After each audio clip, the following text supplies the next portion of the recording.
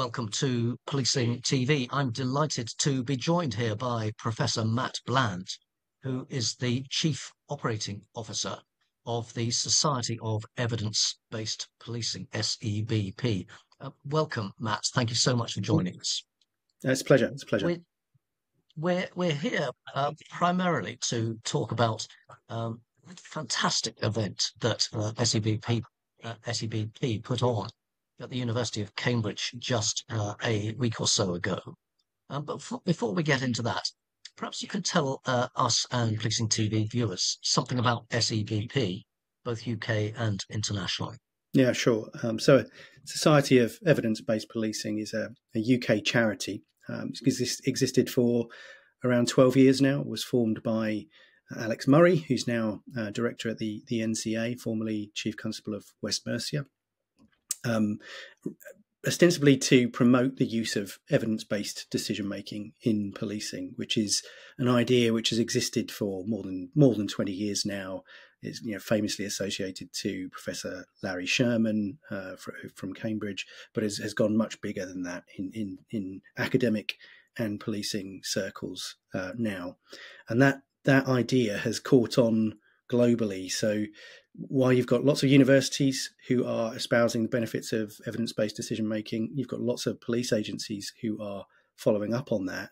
There are also a number of chapters of the Society of Evidence Based Policing uh, around the world now. They all fundamentally do the same thing, that they're all uh, by police officers and academics for police officers um, to try and give them the tools and, and promote the awareness of what is an evidence based um, framework and, and how to apply it in practice.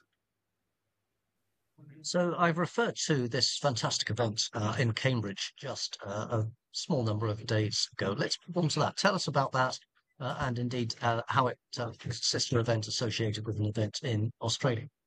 Yeah, so uh, really a big part of the the SEBP mission uh, revolves around connecting people together, um, just getting them in in the same space, sharing ideas, um, sharing contact information, and sort of keeping the conversation going on on the topics that matter to them. Uh, the conference is kind of the the centerpiece of that. Um, so we have a, an annual conference every year. Most of the chapters do that. So there's well established conferences in America, in Canada, and the the global event you're referencing is the one that took place in Melbourne at the um, the MCG uh, a couple of weeks before the event that we held in Cambridge um, a couple of weeks ago.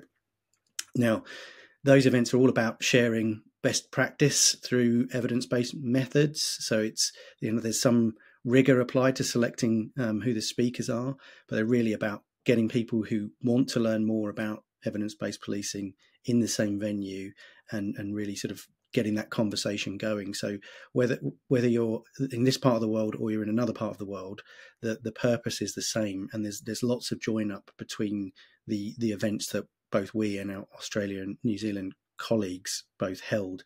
Um, so we had um, Simon Williams from the ANZ Society come over and speak at our conference, and our chair Alex Murray was over in Melbourne doing doing the same the the big standout piece from those two events collectively is that societies for evidence-based policing around the world have now signed a global memorandum of understanding to work together on on different products and really sort of drive this evidence-based policing agenda forward um, in concert, if you like, across across the different chapters. So, uh, Policing Insight, Policing TV, delighted to be uh, media partners for the uh, conference that was recently held in in the UK. Uh, I, I, was there. Thank you so much for the invite to attend. Uh, I've betrayed my own view already that it was just a fantastic conference. But how did you feel it went? Uh, um, a sense of relief that uh, it's all over uh, in one sense, um, because there's there's a lot of organisation that goes on behind the scenes. Um, but I, I'm really delighted with how it went, and I think the feedback that we've had, and we're we're still undergoing our debrief exercises at the moment. Um, but the feedback has been overwhelmingly positive, which is good from a couple of perspectives. One, it's good for for us. We want to be associated with doing doing good things, but it help it will help us um, enormously in terms of replicating this um, this type of event in different forums. So we're looking to hold regional events around the country. Um, we're also looking at, at sort of having online events as well, and some of those principles around just having things organised in a slick way will apply equally there. Um, I think um, the best takeaway from from our point of view is the comments that people have passed about the quality of the speakers, uh, the the idea, the range of ideas that they were able to hear about, and their their ability to um, connect with other people who, who, perhaps weren't speaking, but uh, they've got they've got shared interests and they can help each other on, on that sort of journey to implementing more evidence based ideas. I have to say the venue was fantastic. Cambridge University is a, a wonderful place to host it, and in many ways, the sort of spiritual home of of evidence based policing. So um, it was a it was a special evening to to have dinner there. But the the conference venue there is also uh, an excellent place to be, and we were lucky to have you know number of people who are actively studying um, in this area, contributing and, and chatting to the people who are attending the conference.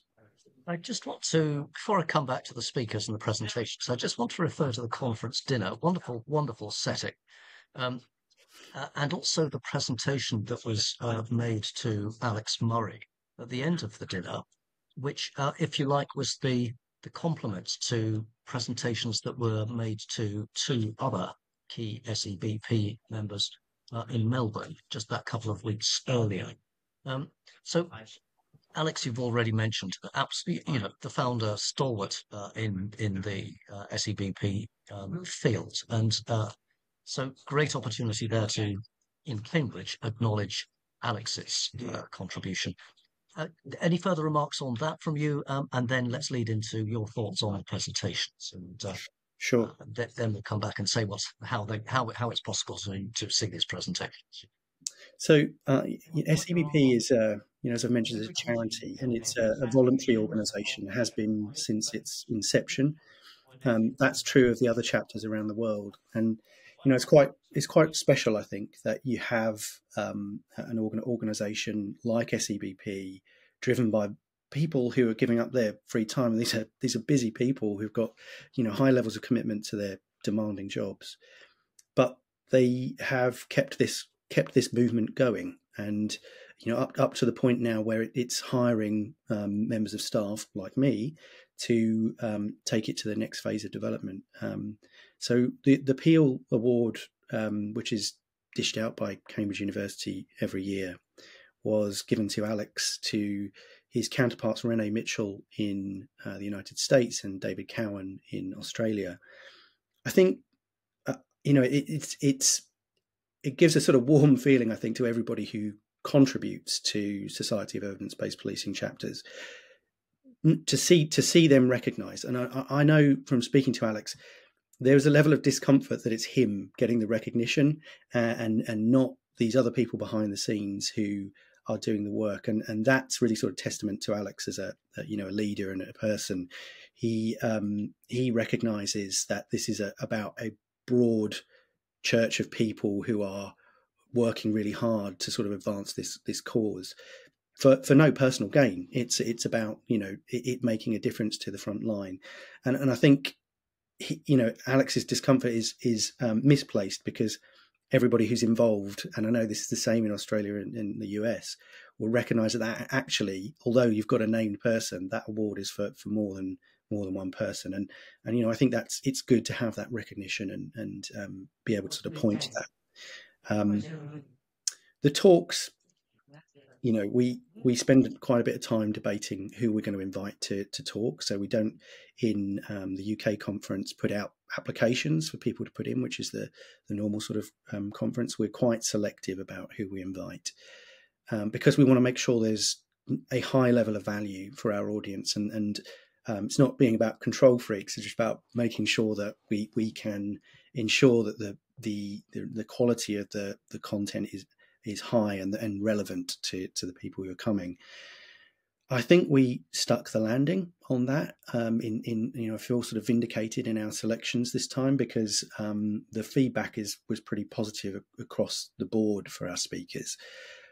They really sort of represent uh, you know a whole range of different contemporary policing problems and potential solutions from them. So all the way from uh, what's the latest that's going on, you know, across the world in Australia and New Zealand, through to initiatives here like Right Care, Right Person, um, and the home. It's listening to Home Office about how they've they've evaluated that program and what the outputs of that are, and then we mix that in with a blend of um, practitioners, uh, you know, active serving police officers and staff from UK forces uh, who are getting their hands dirty with evidence-based policing uh, initiatives. So, Stu Gates from um, uh, Dorset. Um, I have to check because if I say the net force wrong, you know, with 101 different names in my head, Stu would never forgive me. But I'm, well, I'm pretty certain it's, it, it's it, it, in a way it's it's it's uh, onerous for you to, uh, off the top of your head, mention uh, any uh, of the the speakers in the presentations, unless you mention them all. But I think what I will um, perhaps acknowledge here is that um, for those that are interested in viewing more of this fantastic content, uh, you've kindly given Policing TV permission to uh, publish or republish a handful, and all the available presentations will be um, there on the SEBP website. So we'll make sure that the details are available on the website. Um, just I want to bring us to a conclusion now, if we may, um, and I'd, I'd like to give pretty much the last word, Matt, to you, which is um, an invitation from me to explain to those who are not yet members of the SEBP what, why they might join and how they go about joining, uh, and um, then perhaps just also mention uh, the the website um, uh, address. Uh, yes. We'll put it in the, the comments, as I say. Of course. Um, sebp.police.uk is the, the address. Um, and that's where you go to, to join. I should say up front, joining is free. There is there's no cost to it whatsoever. Um, what we're looking to do is build a, a community of um, people who want to know more about evidence-based policing, want to get ideas about how they can um, use tried and tested projects to improve their own work. So we have got you know incredible um, scope of members from people who are um, out there on the front line doing the job um, right now, through to um, people in universities who are just thinking deeply about research and really the primary um, reason to be a member of SEBP is to be part of that group, to hear about the work that's going on across that community, uh, and also then to take advantage of the the tools and resources that we will have available. So Things like um, the conference videos that um, we've been working with you on, um, they will be available in full to our members. But we'll have other resources like toolkits. Um, we have monthly newsletters that go out. Um, I've already mentioned the online um, sessions that we'll be doing as well that will be available to members. And we'll be moving into the world of sort of AI tools as well. So we're looking at chatbots that can uh, assist with people accessing research. All of that you know really exciting sort of new stuff, which is all aimed at sort of making evidence more accessible, uh, more uh, user friendly, and sort of moving away from this world where you have to sit down and consume a thirty page scientific paper. That's that's not really going to happen in 2024 and beyond. So we're, we're trying to make things uh, much more palatable for, for people to actually take it away and apply in their job and that's that's the reason to be a member and, and uh, we're, we're trying to add value to to um, the policing profession at, at no cost to, to individuals and really encourage people to come along and join in. Do go and join if you're not already an SEBP member via sebp.police.uk. And uh, for the time being, Matt, thank you so much for explaining more about SEBP and that fantastic conference just a few days ago. Uh, watching this uh, policing TV viewers do go and view some of that great content.